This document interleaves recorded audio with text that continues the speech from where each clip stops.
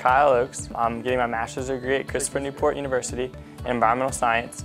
I got my undergrad here also, a bachelor's of science in biology and a minor in chemistry.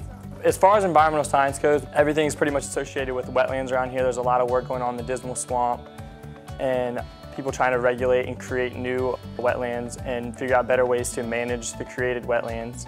There's a big program going on here called the GK12 program that uh, got the opportunity of being involved with. We get to work with local high school students, mostly ninth grade biology classes and a couple of the AP classes. And the idea of that is to get more students interested in biology and the core sciences like any discipline of biology, chemistry, math. So we actually get to take them out in the field. We're doing a project on water quality, determining how much sediment is entering the lakes because there's a lot of impacts of increased sedimentation. They built sediment traps in the class. We took them out in the field, they deployed the sediment traps, and we're actually going to go collect them in the next week or oh, so. They get the opportunity to go out into the field and see what science is all about. You know, in high school, you learn the facts and you take tests on it, but we need to show them now, which I've learned now that I'm in college, that science is actually finding the answers, not just learning the answers. The great benefits about Christopher Newport University and master's degree program is it's based on the capability of having a full-time job.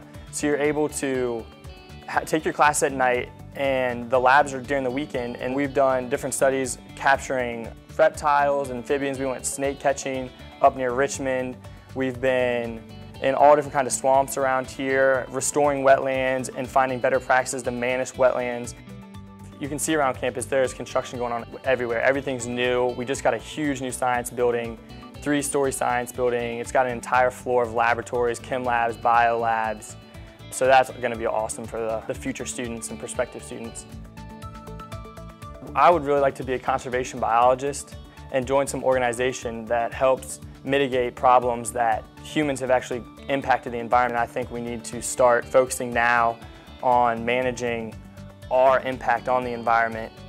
And so I want to help mitigate some of the problems that people are causing to the environment. The one main reason I chose biology is I really like different organismal kind of studies, but after being in environmental science master's degree, I've learned all the things that humans have done. And so, you know, everyone asks what you want to do when you grow up. And lately all I've been able to tell them is I want to save the world.